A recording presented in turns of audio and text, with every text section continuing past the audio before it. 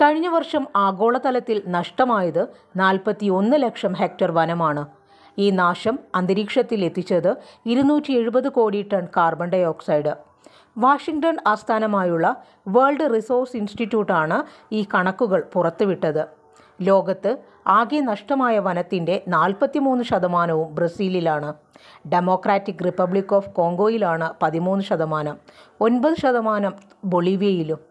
കന്നുകാലി വളർത്തലിനും നാണ്യവിള കൃഷിക്കും വേണ്ടിയാണ് വെട്ടിയും തീയിട്ടും കാട് തെളിയിച്ചത്. രണ്ടായിരത്തി ഇരുപത്തിയൊന്നിൽ സ്കോട്ട്ലാൻഡിലെ ഗ്ലാസ്കോയിൽ നടന്ന കാലാവസ്ഥ ഉച്ചകോടി രണ്ടായിരത്തി മുപ്പതോടെ വനവൽക്കരണം സാധ്യമാകുമെന്ന് പ്രതിജ്ഞ ചെയ്തിരുന്നു. എന്നാൽ ആ പ്രതിജ്ഞയാണ് ഇപ്പോൾ കാറ്റിൽ പറത്തിയിരിക്കുന്നത്. കാലാവസ്ഥ വ്യതിയാനത്തെ ചെറുക്കാനും ജൈവവൈവിധ്യം സംരക്ഷിക്കാനും കോടിക്കണക്കിന് ആളുകളുടെ ആരോഗ്യവും ഉപജീവനവും കാക്കാനും ഏറ്റവും ഫലപ്രദമായ മാർഗമാണ് വനം.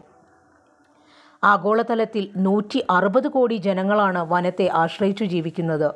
ആദിവാസി വിഭാഗങ്ങളിൽപ്പെട്ടവരാണ് ഇവരിൽ പകുതിയും.